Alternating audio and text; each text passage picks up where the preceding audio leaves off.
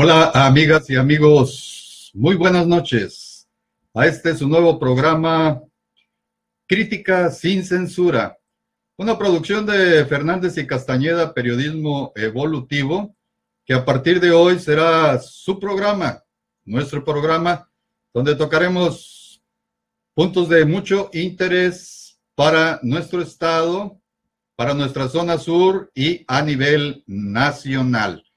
Iniciamos hoy con algo que es muy urgente, el cambiar el equipo y gerencia de Comapa Sur. Aquí en la zona, zona sur estamos teniendo serios problemas, ya sea Tampico, Madero y Altamira, porque Comapa no se ha encargado de cumplir con todos los trabajos que debe de realizar, ocasionando graves problemas tanto en el tráfico como en el abastecimiento y en la calidad del agua que nosotros consumimos, no obstante ser una empresa del Estado, porque está controlada por él, que eh, recauda alrededor de 50 millones de pesos mensuales. Se han quedado ahí paralizadas las obras desde hace muchísimos meses. Ustedes son testigos, quienes viven en esta zona sur, de que se ha afectado seriamente el suministro en algunas partes, como lo es eh, en el tramo que comprende cuatro cuadras de lo que es la avenida Ayuntamiento, donde se encuentran obras eh, que requieren de una gran excavación, suplir la red con tubos de alta denominación de un promedio de más de un metro en cuanto a la circunferencia de estos tubos y donde no se encuentran ni siquiera señales de advertencia o de tráfico que ponen en peligro por ahí la, el paso de los vehículos y a quienes los están conduciendo. Este problema de Comapa es añejo, añejo digo porque ya desde enero del año anterior, el año que terminó, se le había practicado una auditoría, había habido algunos cambios en Comapa, puesto que se daban dificultades muy serias entre los equipos que están liderando ahí eh, el secretario de Seduma Estrella, y también por ahí el señor Pinto, que es el jefe, el mandamás en este aspecto de las comapas, que tienen introducidos personajes dentro del equipo que no es propiamente de Adolfo Cabal Ruiz, responsable gerente de esta eh, administración actual de Comapa. En aquel entonces se dudaba del aspecto financiero, Finalmente se logró poner en claro de que estaban bien los manejos, que no se trataba más que de una disputa que tuvo que venir precisamente Francisco Javier Cabeza de Vaca, el gobernador, a ponerles un hasta aquí. Entre ellos figuraban, se suponía que el pleito era entre Monje y Cabal, pero resulta que no obstante el aspecto profesional la preparación de Adolfo Cabal Ruiz y que incluso tuvo una maestría y estuvo brindando servicios en la India precisamente en esto que es el servicio de el agua potable. Es un tipo agradable, un tipo que al principio se veía con mucha iniciativa, pero que dada su inexperiencia de ser parte de una familia comerciante de una familia empresaria, de una familia con mucho éxito en lo que es la iniciativa privada. Tuvo que mezclarse, fue atraído por la política y ahora está entrampado y es presa de estos verdaderos grillos políticos, de estos amasafortunas, eh, a raíz de poder tomar el dinero de lo que son las arcas de Comapa que anteriormente eran utilizadas, como todos sabemos, para realizar fines electorales y promocionar a sus gerentes como próximos presidentes municipales. Cabal no tiene esa posibilidad, si estaban pensando en ello, si lo estaban preparando, está totalmente fuera. El asunto es de que seguimos con los mismos problemas, no ha resuelto absolutamente nada. Hace poco, en meses recientes, para terminar el año 2017, el propio gobierno del estado ordenó lo que es una cobertura en la cual eh, se contrató a un despacho privado de auditores y los cuales dieron la calificación reprobatoria precisamente como empresa. Está quebrada la Comapa. ¿Y a quién podemos echarles la culpa? A nadie. Ellos solos se la se la endilgan precisamente porque este equipo no dio el resultado que era requerido. Así que en quiebra la Comapa se tiene que suplir a este equipo y al propio gerente Adolfo Cabal Ruiz, puesto que no han dado resultados desde octubre del 2016 hasta la fecha. ¿Cuál es la razón por la cual Cabeza de Vaca, nuestro gobernador, lo sostiene ahí? ¿Por qué no una vez que inmediatamente se supo precisamente de que están reprobados, de que tienen en quiebra a la Comapa, ¿por qué no se les ha sustituido? Y aquí debemos de recordar que anteriormente, incluido en este equipo, se encuentra nuevamente quien es el gerente comercial de la Comapa, ex regidor en Tampico, y que se le había comprobado supuestamente por medio de pruebas de video en el sentido de que se estaba robando el agua que él vende, que él eh, de alguna manera eh, procesa para venderla para uso doméstico en botellones. Este fue el primer indicio en que en esta nueva administración se está tolerando totalmente la impunidad, corrupción. ¿Por qué? Porque a este tipo nuevamente se le volvió a dar el puesto de gerente comercial. ¿Qué pasará entonces? ¿Cambiarán a este equipo? Adolfo Cabal Ruiz dejará la gerencia de Comapa. Así debe ser, eso es lo correcto en base a los resultados. Esperemos que no sea cierto aquello de que es demasiado el compromiso que tiene el gobernador con las familias Cabal Ruiz y Ruiz Villegas, quienes ya también se han apoderado de lo que es la Secretaría de Pesca y la hermana de Adolfo Cabal Ruiz como subsecretaria en Turismo y que están precisamente aquí, situados en lo que es Tampico, ahí por Avenida Hidalgo, en un edificio de Eduardo Vela, donde se encuentran estas instalaciones. Es urgente, Esperemos que el gobernador Cabeza de Vaca tenga un acierto y ya les brinde a los tan pequeños una buena administración, un buen suministro y no se preste a seguir con estos malos manejos o incapacidades del equipo que él mismo nombró. Finalmente, ¿quién es el responsable? ¿Quién los nombra? El gobernador, quien deposita su confianza. En otro punto muy importante, para Tamaulipas, este día 13 de enero se inicia la apertura de lo que podría ser ya el calentamiento de lo que es el ambiente preelectoral en nuestro estado de Tamaulipas. Ya queda pie a que se puedan inscribir los aspirantes o suspirantes a puestos de elección popular, de renovación o de reelección en nuestro estado. Así que en el transcurrir de los días del 13 al día último de enero, tienen la oportunidad de presentar sus licencias e incluso renunciar a sus cargos para poder en algún momento tratar de ser los elegidos por sus respectivos partidos para poder contender en las elecciones a llevarse precisamente en julio de este 2018. Y esto hace que aumente la temperatura después de estos gélidos tiempos, tanto climatológicos como políticos. El gobierno del estado se encuentra ahí como adormecido, aletargado. A lo mejor tienen por ahí hipotermia el gobernador y todo, todo su gabinete, incluyendo, por supuesto, a los destacados asnada, ¿sí?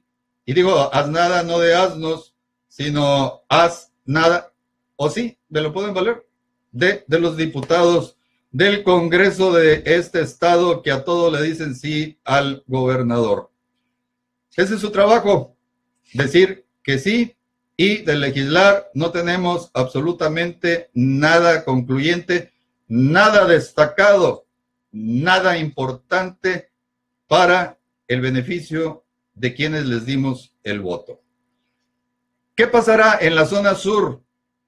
Bueno, para empezar, digamos que Kiko Elizondo, quien es el presidente del PAN estatal, ha dicho, ha sostenido que va a recuperar Tampico. He ahí la advertencia para la profesora Magdalena Peraza Guerra, quien deberá de pensársela muy bien porque al decir esto, el mandamás del partido blanquiazul quiere decir que ya tienen a un gallo, un gallo que nosotros los que somos de esta zona pues no sabemos.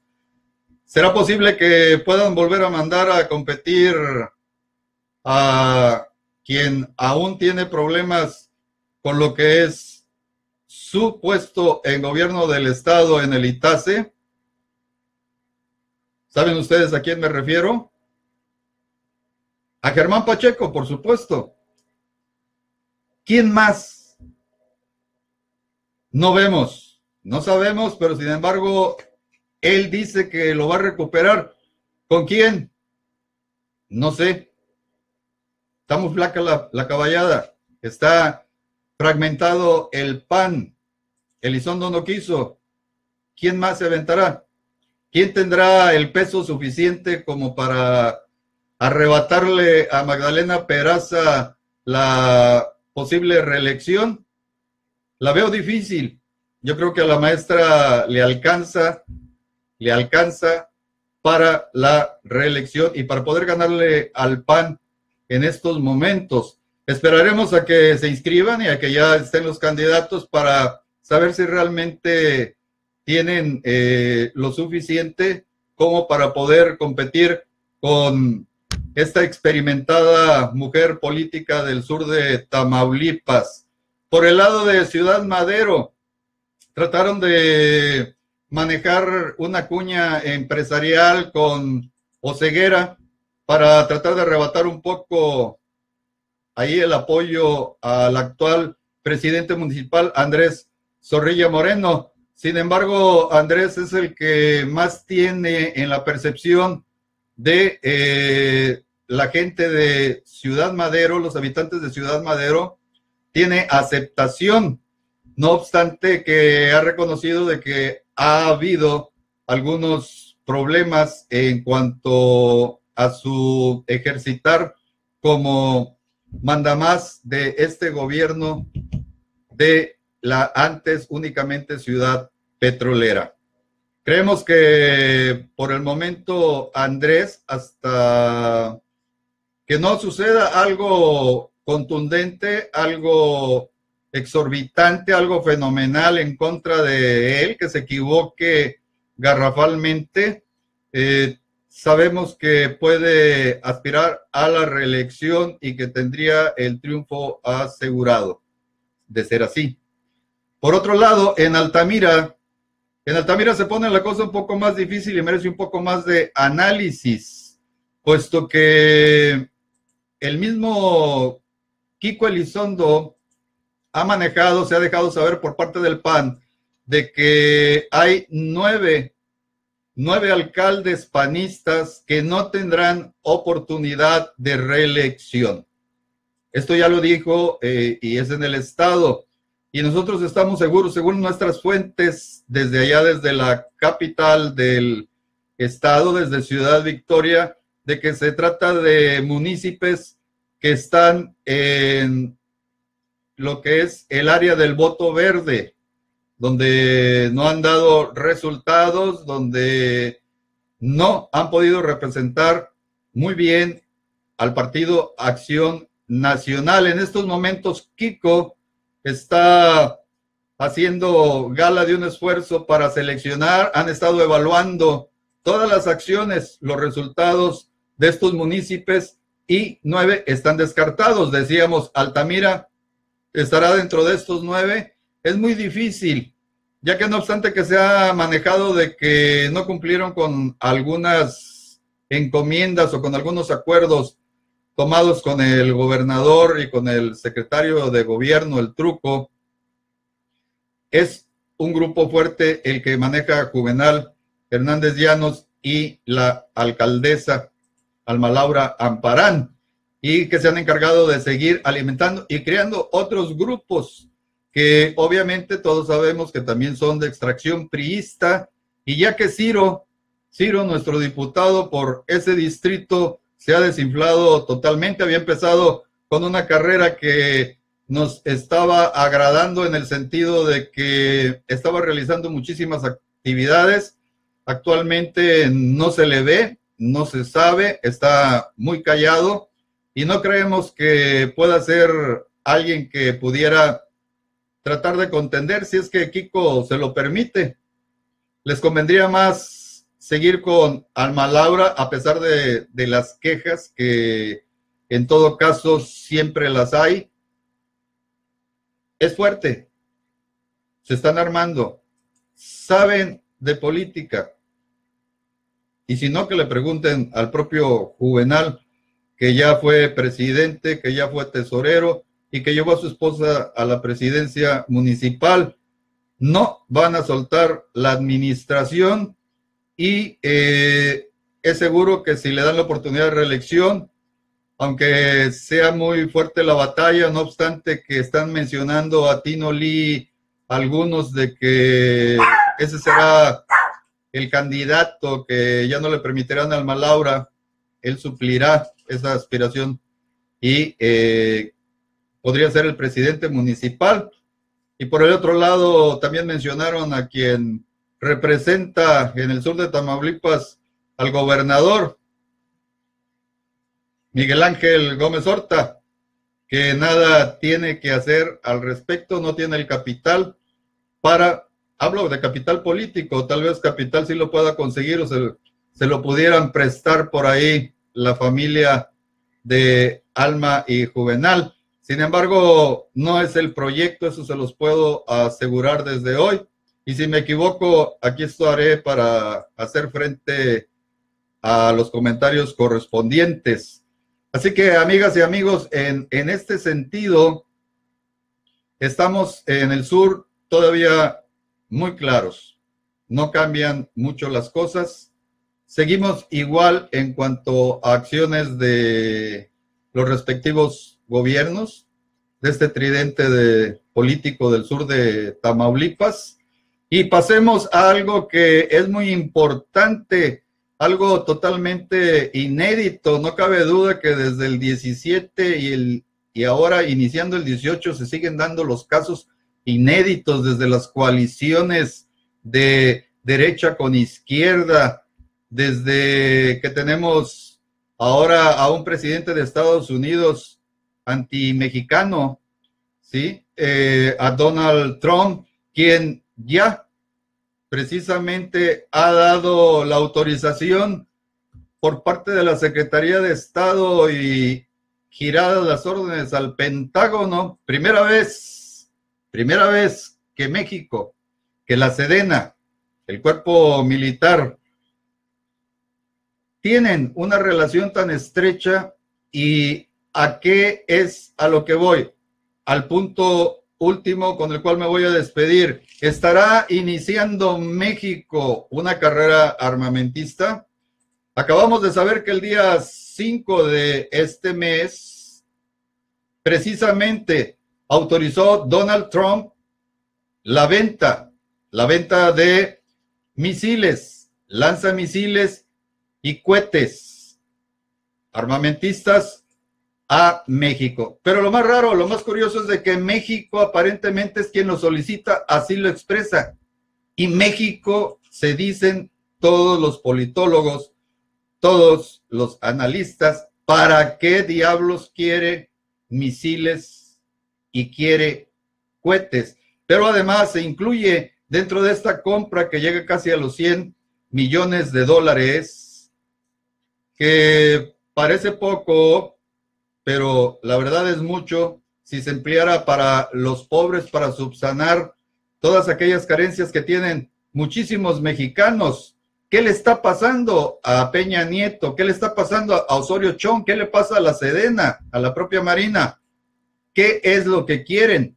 Y debemos de observar también que se acaba de impulsar y aprobar precisamente la ley interna de seguridad. ¿Tendrá algo que ver con esto? ¿Para qué quieren misiles? Se vuelven aliados en una carrera armamentista de los Estados Unidos. O sea, ¿qué repercusiones tendrá ante la Organización de las Naciones Unidas el hecho de que México siempre se ha destacado por ser un país que ha luchado por mantenerse neutral en este aspecto? Hoy con la compra, que además tiene carácter de entrega inmediata, y les doy más datos al respecto. Lo que se va a adquirir es exactamente la cantidad 98 millones, 98.4 millones de dólares. ¿Qué es lo que se va a adquirir? Son 23 misiles y 6 torpedos. Hágame usted el favor, ¿para qué los quiere México? ¿No sería mejor esos casi 100 millones también, pues cuando menos meterlos contra la lucha al narcotráfico. ¿Saben ustedes de qué se tratan estos equipos? Son lanzamisiles terrestres de la clase RGM-84L, denominados Harpoon Brook 2, y también misiles tácticos de la clase Block Dogs Airframe y de torpedos peso ligero de la clase MK-54 modelo 0. ¿Qué vamos a hacer con esto? ¿De qué se trata? ¿Qué es lo que no hemos logrado nosotros descifrar?